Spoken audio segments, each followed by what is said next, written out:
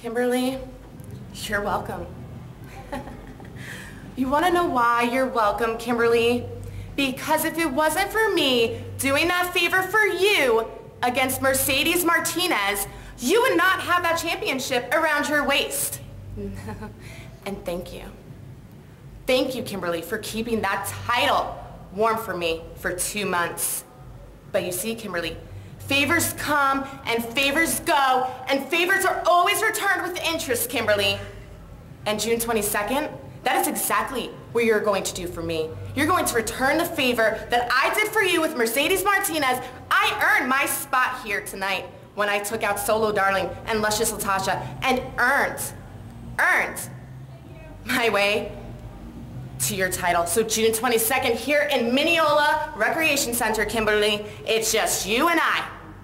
And I will see you there. And you definitely will return that interest.